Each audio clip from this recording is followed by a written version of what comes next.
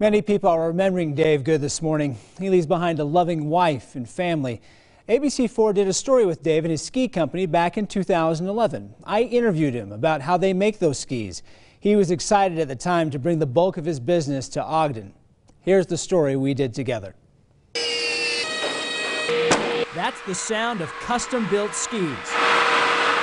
And soon you'll be hearing a lot more of it in Ogden. We are moving our snow ski production from China here to Ogden, Utah, USA. Today, Goode Ski Technologies announced it will now begin making all its skis here in Utah. Here at the foot of the Wasatch, uh, with uh, neighboring skiing so close, it's, uh, it's a tremendous opportunity for us. So after the skis are laid up, managers tell ABC4 that means converting its Ogden prototype plant into full-scale production and quadrupling its workers. Over the next uh, few months, we're going to be de developing, uh, bringing on 20 to 30 new jobs, and uh, within the next couple years, we believe that number will be close to 100 here.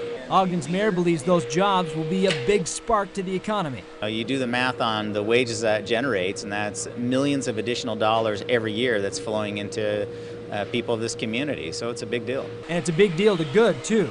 They say they want their exclusive carbon fiber skis made here in Utah to be the best in the world. It says so right on the front door. Every day that we walk in this building, we want everyone to know and remind all of ourselves we have an obligation to build not just good skis or great skis, but the very best skis in the world. Goode expects to be making them here in Utah for a long time to come.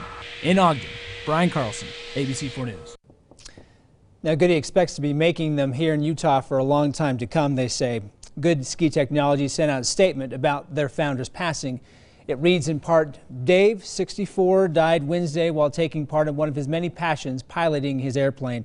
Through his numerous technological advancements in both water skiing and snow skiing and financial support of countless events and athletes in both sports, Dave touched the lives of thousands of people by helping them in the sports they love push the limits of performance.